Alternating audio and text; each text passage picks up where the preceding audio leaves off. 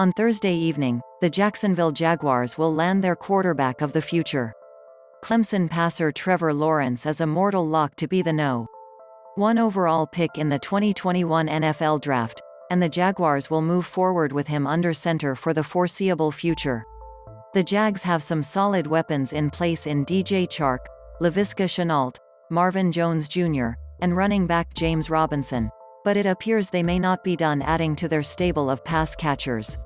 To find some help for his new quarterback, Jaguars coach Urban Meyer reached into his past.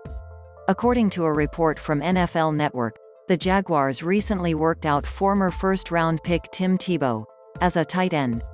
Tebow, of course, was a Heisman Trophy and national championship winning quarterback at the University of Florida, where he played from 2006 to 09 for Urban Meyer.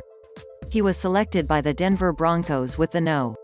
25 overall pick in the 2010 NFL Draft. He went 8-6 in 14 starts with the Broncos, also leading them to a playoff win over the Pittsburgh Steelers. But he was not an effective passer, and the Broncos elected to move on from him after just two seasons.